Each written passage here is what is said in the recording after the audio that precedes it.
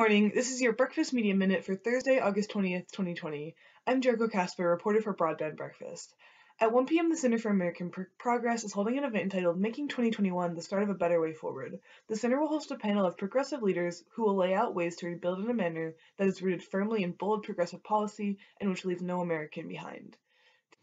Today is the final day of the Democratic National Convention. Virtual caucus and council meetings will continue to be held throughout the day, including the Poverty Council meeting at 12 p.m. and a Small Business Council meeting at 1 p.m. DNC programming continues tonight at 9 p.m. with appearances from Senator Cory Booker and Andrew Yang, among many more. These guest speakers will set the stage for Democratic presidential nominee, former Vice President Joe Biden, who will have the opportunity to speak to the public tonight. You can learn more about these events at broadbandbreakfast.com. Please subscribe to our channel, and if you have any suggestions, email midnight at breakfast.media. I'm Jericho Casper, and I'll see you tomorrow for another Breakfast Media.